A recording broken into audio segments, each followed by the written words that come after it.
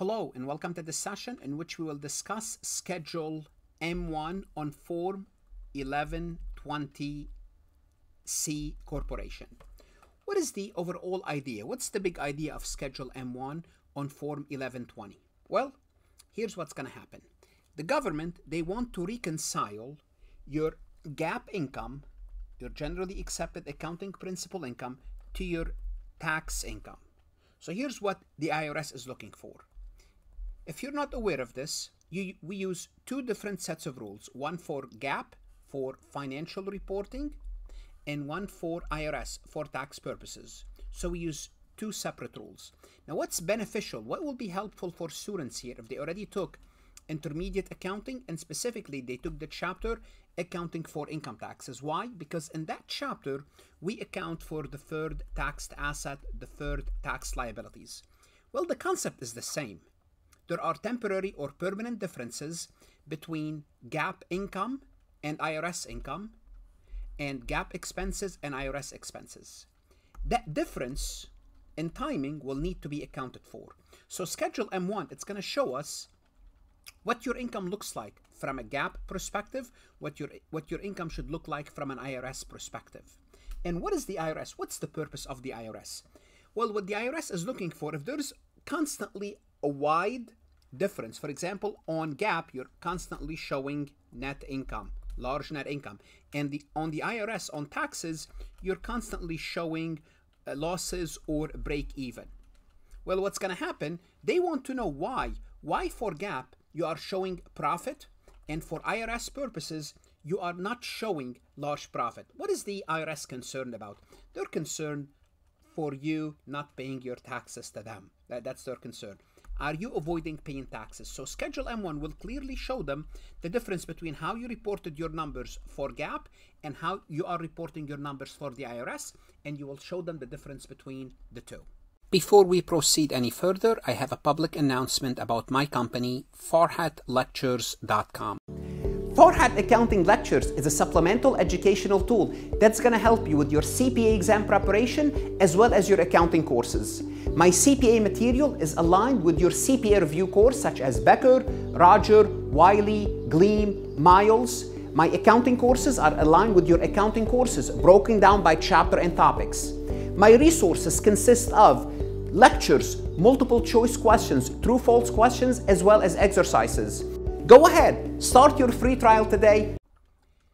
So the corporation must reconcile financial accounting, financial accounting, which is GAAP accounting, with taxable income on Schedule M1. Basically, it's a form of reconciliation between GAAP and taxable income, GAAP income and taxable income. So you'd always start with GAAP income. So we, we always assume that you already have your GAAP income, you reported your financial statements, then you'll start to make certain adjustments. So the first thing I'm gonna do, I'm gonna go over few common or few common means in a sense that they are that they are easy to understand and common means they appear constantly on schedule m1 few common items to help you understand this concept and the first item i'm going to illustrate is the concept of federal income tax per books so when you prepare your financial statements using GAAP, let's assume you're looking at your income statement. We would report your revenues minus your expenses minus your federal taxes. I'm going to put the taxes separately. So let's assume your revenues are $100, expenses are $60, and taxes are, for the sake of illustration, $4. So let's see. 100 minus 60 is 40 minus 6 is 36. So your net income is 36. Well, if I ask you, how about your taxable income? What will be your taxable income? If this is your GAAP net income, what is your what is your tax taxable income? Well, here's what I'm going to say. I'm going to start with my GAAP income. And what I would do, I would say, hold on a second. I deducted $4 in federal taxes. This, this is not only any taxes, this is federal income taxes. That federal income taxes, this is an expense. Notice it's a minus, it's a deduction. For tax purposes, I cannot take this deduction. Therefore, I'm going to have to add $4 to my GAAP income. Therefore, my tax income is $40. So for, for $40, I made $40 of profit. For GAAP, the reason I made 36, I'm reporting 36, because I deducted $4 of federal income tax, which I cannot you obviously you cannot deduct your taxes on your own taxes, your federal income taxes on your federal income tax return. So notice I deducted it for GAAP. To reconcile, I'm going to add it for tax. That's one example of it. Let's take a look at another example. Let's take a look at net capital losses. If you incur capital losses, what, what does that mean? It means you sold assets and you incur losses, capital losses. Well, when you report your losses for GAAP, let's go back to this example. Just kind of, let's go back to this example. And let's assume for GAAP purposes, you had $20 in capital losses, minus 20 in capital losses, minus 20. So let's take a look now at your reconciliation. $100 in revenues minus $60 minus $4 minus 20. Now your profit for GAAP is 16. So this is your net income for GAAP. Well, that's fine. So you had $20 in capital losses. And you can deduct the whole thing as far as GAAP concerned. They don't care. They allow you to deduct all your capital losses. When it comes to the IRS, remember, you can only deduct your losses up to your capital gain. So if you have any excess losses, which is here we have the 20 is excess losses, the reason you are reporting capital losses because you have more losses than gains, more capital losses than gains. Well, for tax purposes, you cannot deduct these losses. Therefore, to reconcile, first we're going to add the $4 of taxes, then we're going to add the $20 of capital losses. Now we're going to be, now we're back to $40 for tax purposes. So for tax purposes, your taxable income is $40. Okay, so this is another example of it. Also, we could have, let me just erase this now. We could have income reported for tax, but not book income. For example, prepaid income for $10,000.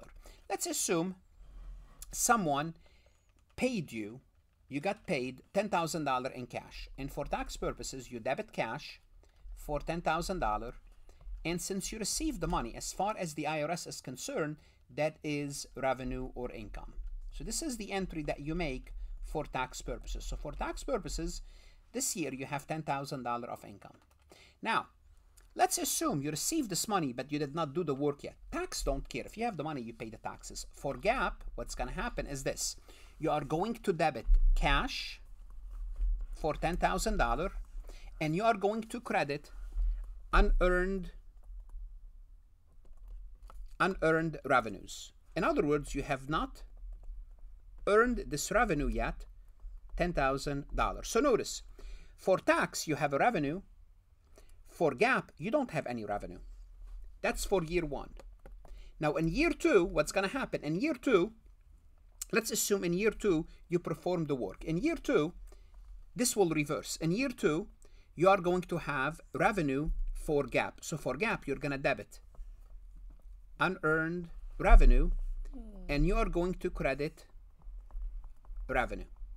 In year two for tax, nothing happens because you already recorded the 10,000 in, in revenue. Notice what happened is in year one, you reported the revenue for tax, nothing for GAAP, no revenue for GAAP. In year two, in year two, you have revenue for GAAP, no revenue for tax. So what, what happened is, as a result, there are timing differences between the two. And this is what we'll reconcile on Schedule M1. Schedule M1 will show all these differences. Another example will be expenses deducted for book, but not tax. So there are certain expenses you can deduct now for book purposes, but you will deduct for tax later. What, what could be an example? Access charitable contribution. When you contribute to a charity for GAAP purposes, you can deduct everything, all of it. It's minus. For tax, remember when we took when we learned about charitable contribution, you are limited to 10% of taxable income. Therefore, you may not be able to deduct all of it now. You deduct all of it this year. Next year, you may not have any charitable contribution, but you have some from the prior year that you will take in year two.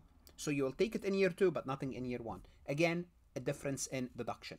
So this is the basic idea, but the best way to illustrate this is to look at a little bit of a numbers, look at a complete income statement, try to reconcile the two, and then we would look at an actual schedule, schedule M1, to see how it looks like actually on schedule M1. So let's go ahead to the Excel sheet and work a quick example. Looking at this Excel sheet, we have a GAAP income statement. We have revenues, tax exempt interest income, life insurance. Total income, 555,000. Operating expenses, 450,000. Excess capital loss, 20,000. Premium paid for life insurance, which is an expense, 2,600. Interest on tax exempt bond, 5,000. Then we paid $10,000 in federal income tax.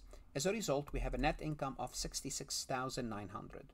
There's a purpose why I put the expenses in uh, as parentheses just to illustrate that they are being deducted. That's why they are in parentheses. That's just to make a point. Now this is your GAAP net income. Now you will be asked to do what? Reconcile GAAP income to IRS income. So let's start. Well, I'm going to start with my net income for GAAP, and I deducted 10,500 for federal income tax. This was an expense on my income statement. On my GAAP income statement, I deduct my federal income tax. Well, guess what? If you are computing your taxable income and you're starting from net income per GAAP because you are reconciling, you're going from net income to GAAP to net income to the IRS, you need to make certain adjustments. One of the adjustments is you made a deduction here, you made a deduction here of 10,500. You cannot take this deduction for tax. Therefore, what you do, you add back this deduction, which is bad. Adding back means what? It means you lost the deduction. You lost the deduction means your taxes are going up, your bill is going up. It means now you report more profit. If that's the only thing, then your then your taxable income is 76,000. Oh, ah, well, let's see. 60 if that's the only reconciliation, which is not, but let me just assume that 66,900 plus 10,000 66,900 plus 10,000 500 my calculator is not working. That's equal to 77,400 77,400 if we stop here we would say your taxable income for IRS purposes is 77,400 but that's not the only thing okay? But what we do is we add back. We lost a deduction. Let's go back since we are working with deduction let's go back and look at interest on tax exempt bonds. What do we know about this interest if this interest, if we incur interest and this interest is incurred to invest in tax exempt bonds of 5000 for GAAP, there is no reason not to deduct this. For IRS, this amount is not deductible. Therefore, we go back and add, again, add this 5000 since we deducted it for GAAP and it's not deductible for tax, we add it back. Let's go to the excess capital loss. Remember, capital losses for GAAP, we can deduct as many as much capital losses as we have. For tax purposes, our cap we can deduct capital losses up to capital gains. Any excess, we cannot do that. What do we do? We carry it over for future years. That's fine. So since we deducted it to come up to 66,900, if we are going to the IRS, we are going to add it back. Same thing for the premium paid for life insurance. We paid a premium, we paid a fee to buy life insurance. Well, that fee, that fee Fee for life insurance premium, as long as the proceeds are not taxable, the expense, the deduction is not taxable. Therefore, since you deducted the life insurance premium, well, guess what? You have to add it back. So what I did, all what I did is I took certain expenses, which were one, two, three, four, and I kept them separate for a reason, just to kind of get you started. I took, for example, all other operating expenses here. We're going to assume this 450,000. They are deductible. This is what I'm assuming for tax as well as well as for GAAP. So this is what I'm assuming. That's why I listed those separately and reconcile them. What about the 450? We're assuming that those expenses are the same, whether for tax or for GAAP, no difference.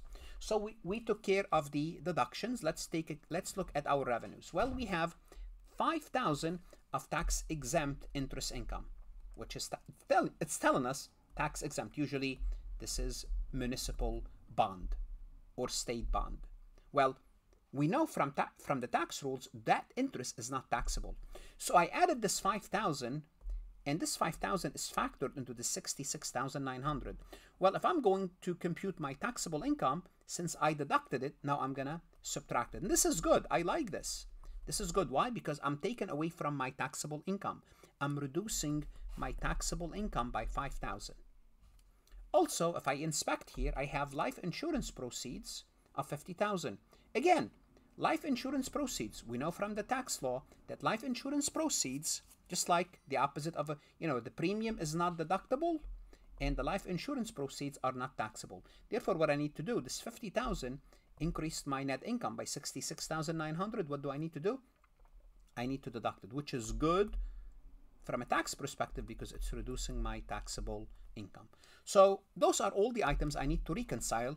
After all said and done, I reconciled my book income, my GAAP income, which was 66,900.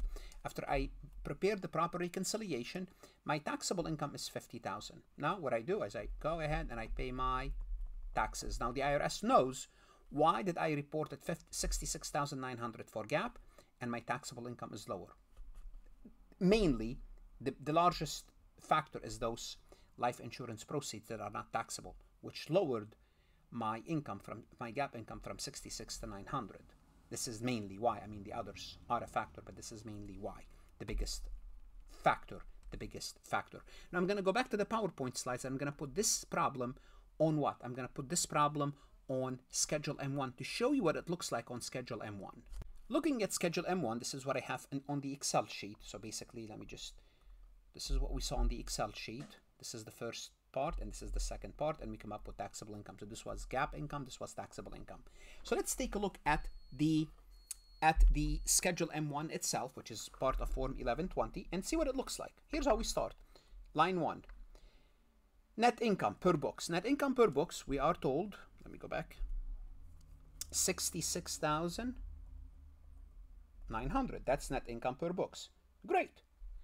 Then Right under line 2, they pre-printed federal income taxes per books. Why? Because everyone will deduct their federal income tax for book purposes. Therefore, because this item is very common, because this item is very common, what they do, they'll tell you, well, you deducted it, add it back. So 10,500. Done.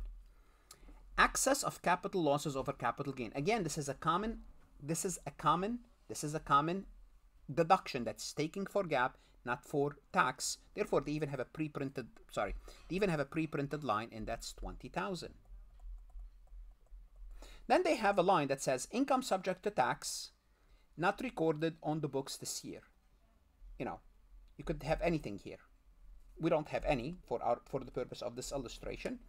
Then we have line 5, expenses recorded on the books this year, not deducted on this return. So maybe there, there could be depreciation, there could be charitable contribution, travel and travel and, and entertainment, or other expenses, anything, or other. Now, what expenses we took for the books, what expenses we took for the books, expenses recorded on the books, but, but not deducted on this return? Well, I can tell you there are two expenses that we took for the books, the premium paid life insurance and the interest exempt interest on bond. They are deducted, but they are not they are deducted on books, but they cannot be deducted on the tax.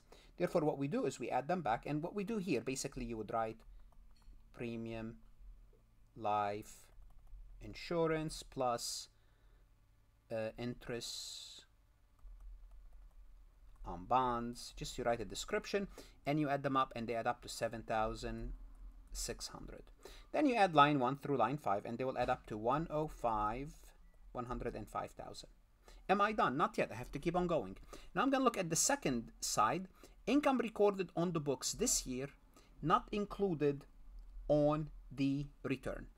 So income recorded on the books, not included on the return, and they have a pre-printed line for tax that are helping us. Tax exempt interest. Do I have a tax exempt interest? I sure do. 5,000. 5,000. Do you have other items? Yes, we do. Life insurance proceeds. Life insurance proceeds, 50,000. 5 plus 50 is 55,000. Again, deduction on this on the on this return not charged against the books. We could have depreciation. Hold on a second. We have a depreciation here and we have depreciation here. Yes. We have charitable contribution here and we have charitable contribution here. Yes. What does that mean? It means just because you saw depreciation it means add it to one side and not the other. No, you have to be very careful. You cannot memorize what's on Schedule M1. What does that mean?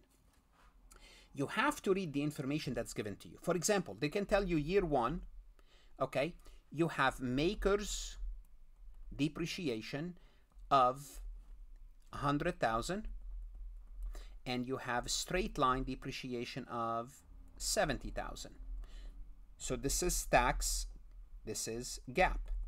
So for, for GAAP, for GAAP, you have 70,000 of depreciation expense. For MACRS, you have 100,000. So what happened here? You have excess MACRS. You have excess MACRS depreciation.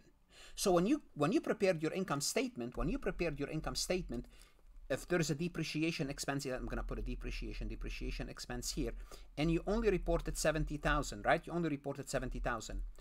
What, what's going to happen here? You're going to have to reduce your taxable income by, and reduce, you're going to have to reduce your taxable income by 30,000 because for MACRS, for MACRS, for MACRS, it's 100,000. You already took 70,000 straight line, therefore you have to add, add 30,000 because it has to be 100,000 in bet between the two. Now the opposite could be true. For example, in year four, MACRS could be 70 uh, and straight line, now you, you're taking 100,000. Well, what does that mean? It means for GAAP purposes, you are taking a depreciation expense of 100,000, but for tax, it should be only 70. Therefore, what you do is you add, to reconcile, you will take net income and you will add 30,000 because you need to lower lower your deduction by 30,000. You add 30,000 of income to this number, so the net depreciation expense is 70,000. So you have to be very careful. Same thing with charitable contribution. Same thing with anything on the Schedule M1. You cannot memorize the items. You can memorize certain items. It has to make sense because the way the information given to you could be very, very confusing. Now, don't worry, we're going to work few examples. But let's finish this example. So 105 minus 55, and we have nothing else here income for tax purposes is 50,000. Notice we went back to this. I just showed you the Excel sheet, but I also showed you the reconciling item. Now this is a partial list of items that could be partial list, not a full list, on Schedule M1, and it just showed you depreciation. And what do I do with depreciation? Do I add depreciation? Do I subtract depreciation? Do I add it to, to my taxable income? Do I deduct it? It all depends on how the information given to you prepaid income and prepaid expenses. It all depends on how the information is given to you, whether you need to add, whether you need to deduct. So you have to be extremely careful. How do you be extremely careful? You work examples. What do you do? I'm going to work more examples. Go to Farhat Lectures, look at additional examples, multiple choice, true, false. That's going to help you understand this important topic. Schedule M1 of Form 1120. This is an important, whether you are a CPA candidate, CPA exam candidate, enrolled agent, or an accounting student. Good luck, study hard, and of course, stay safe.